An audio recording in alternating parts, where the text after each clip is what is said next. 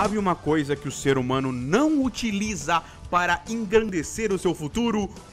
A história. É, é, é, isso mesmo. Apesar de ser a coisa mais importante na nossa civilização, você olhar para trás e aprender com os erros do passado, a gente faz muito pouco isso, né? Como é, a gente pode ver hoje em dia. Mas é, é isso aí, galera. Mas sabe o que a gente faz com a história?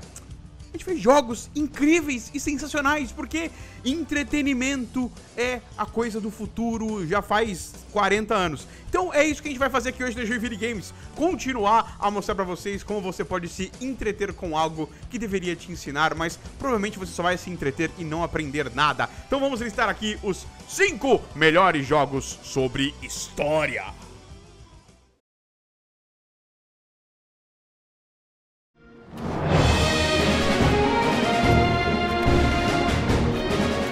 Primeiro jogo da lista é nosso balaio aqui no canal, que aparece toda hora. É o Age of Empires 2, é óbvio que tem que ser. Sensacional, um jogo que além de ter muito entretenimento, também tem aquela parte que a gente ignora, que é a parte que ensina realmente o que aconteceu na história, como foram os combates lá, como, como foram as políticas da época medieval, da era medieval, de vários povos diferentes, várias culturas. É um jogo fantástico nesse aspecto. E tá pra sair o 4 aí, né? Que é até um dos motivos de eu ter feito esse vídeo aqui, da inspiração pra fazer esse vídeo. Tá pra sair aí o Age of Empires 4, que vai focar bastante nisso também, em contar a história real pra gente. E é sensacional, cara. É um dos melhores jogos já feitos, na minha opinião. Eu amo Age of Empires 2. E ele tá aí, cara. Continua sendo mais e mais... É, decisivo e mais e mais importante no nosso mundo dos games aí. Com certeza, a cada ano que passa, é um jogo fenomenal, tanto em entretenimento quanto em te ensinar a história do que aconteceu.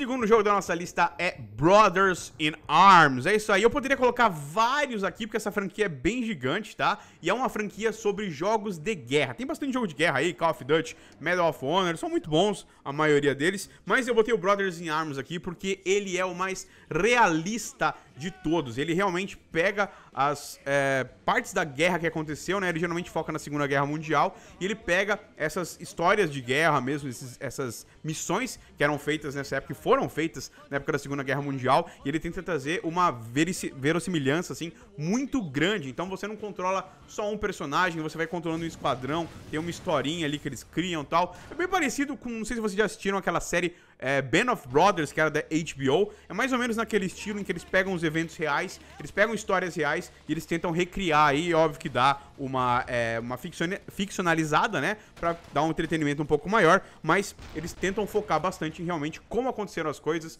e em trazer a experiência mais realista que eles conseguem, cara. É sensacional, tanto na parte visual quanto na parte da história, de você aprender é, os motivos da, da guerra tal, e como os soldados se comportavam nessa era, né, cara? É sensacional, é um jogaço e eu recomendo todos da franquia que são muito bons. Just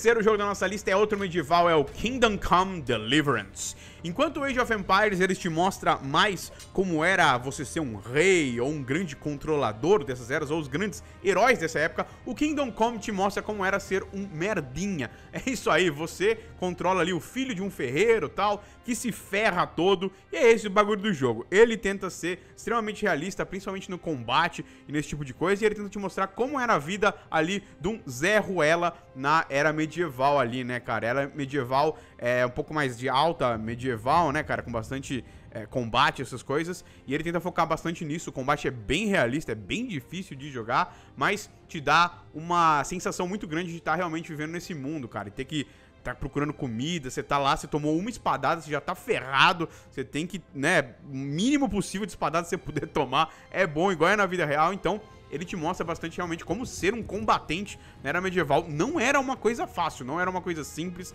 era realmente algo que necessitava você ser realmente muito bem treinado e ter muita noção do que você está fazendo. Então, com certeza merece entrar nessa lista esse jogão.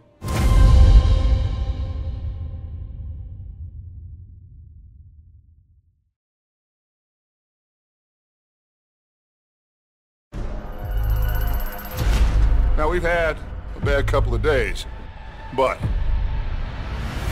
we've been through worse than this before. O quarto jogo da nossa lista é ele, Red Dead Redemption 2. Ele precisa entrar aqui porque ele é o melhor jogo para nos mostrar essa era tão triste e tão feliz na história dos Estados Unidos, que era ali do final, né, do Velho Oeste, como a gente conhece aqui no Brasil, e o começo ali da industrialização dos Estados Unidos, né, que é onde morreu esse personagem tão famoso que é o cowboy, né, cara? E ele mostra isso de uma maneira sensacional, é muito bem feita essa transição e a história por trás dessa transição, né, a gente seguindo lá o, Arthur tal e a gangue lá do, do Dutch, né, cara? É sensacional, além de ser um jogo extremamente lindo, maravilhoso, uma recriação quase perfeita do, da região ali que eles estão, meio Califórnia, tal, ali pertinho tal. É um negócio meio é, é, ali do, do, final do Velho Oeste, cara, e você tem esse sentimento de ver as pessoas já olhando torto pro cowboy e tal. E, né, é uma coisa que a gente não tá.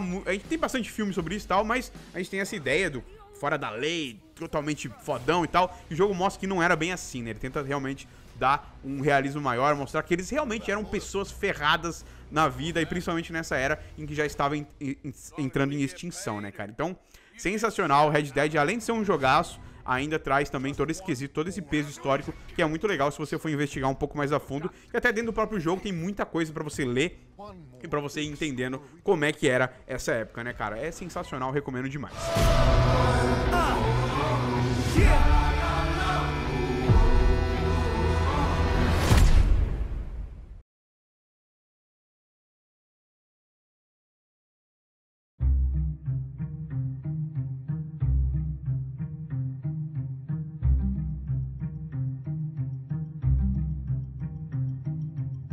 o quinto jogo da nossa lista é LA Noir. É isso aí, outro jogo da Rockstar.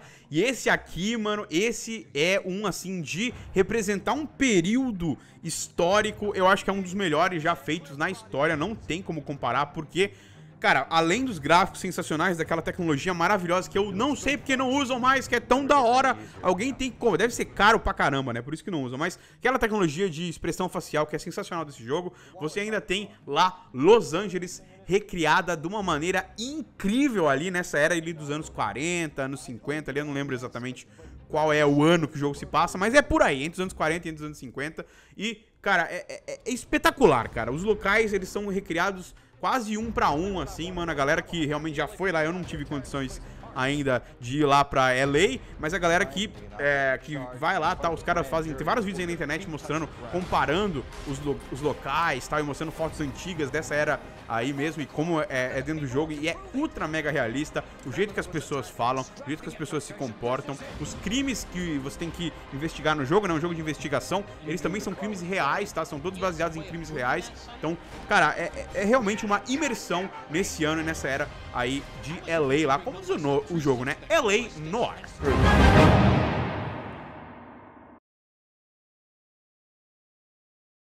Mas então é isso aí, pessoal. Por hoje eu vou ficando por aqui. Eu sei que poderiam entrar outros muitos jogos aqui nessa área. Tem realmente... A gente tá muito bem nessa área de jogos históricos. Realmente... É, é porque é nerd que faz jogo, né? E nerd gosta de história. Então, tem um monte de jogo aí sensacional que poderia entrar nessa lista. Essa foi a minha lista. Deixe aí nos comentários a lista que você acha que poderia ter sido feito, algum outro jogo que poderia ter entrado, qual que poderia ter saído. Quero saber a opinião de vocês. Também não esqueça sempre de deixar aquele joinha maroto para ajudar a gente na divulgação. Não esquece de seguir as nossas redes sociais e também não esquece de se inscrever no canal, clicar no sininho e acompanhar todo outro conteúdo aqui do canal da Joinville Games, beleza? Então é isso aí, eu vou ficando por aqui. Um abraço para todo mundo e também